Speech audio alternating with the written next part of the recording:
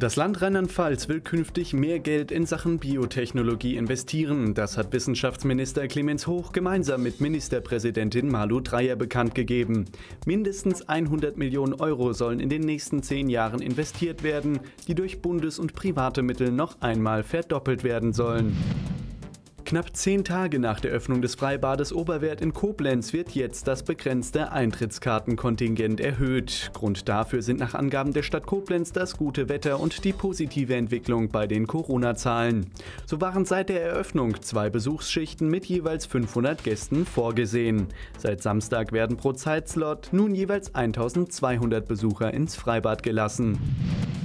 Nach der langen Phase des Corona-Lockdowns erwacht auch die Stadt Neuwied immer weiter aus dem Dornröschenschlaf. Wie die Stadtverwaltung nun mitteilte, hat die Kampagne Neuwied blüht auf nun die nächste Stufe erklommen. Überall im Stadtgebiet sollen Pop-up-Gärten, Blumen und bunte Sitzmöbel die Deichstadt wieder erlebbar machen. Der Tourismus in Rheinland-Pfalz hat sich im vergangenen Monat zwar etwas erholt, dennoch ist er auch weiterhin weit von der Normalität entfernt.